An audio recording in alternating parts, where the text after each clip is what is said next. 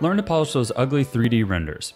Hi, I'm Remington from Southern Shotty 3D, and I'm a Silicon Valley animator that's had the pleasure of working with a variety of clients such as Google, Facebook, Spotify, and more.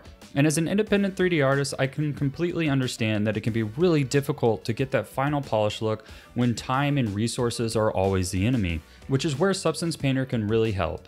Substance Painter's easy to use smart tools make it quicker than ever to texture your scene even if you don't have painting experience, while also still offering a wide set of tools that make it great for traditional painting as well. This course will walk you through taking your objects from Cinema 4D and Blender and texturing them in Substance Painter. We'll cover popular render engines such as Redshift, Octane, Cycles, and Cinema 4D's built-in render engine. Substance Painter as a tool is a powerful way for motion designers to quickly create custom textures for their 3D art. Smart masks make it easy to add story and age to your objects.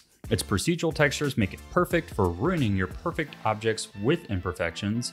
Its a large library of materials is great for getting started, or with a wide variety of tools you can make your own textures from scratch.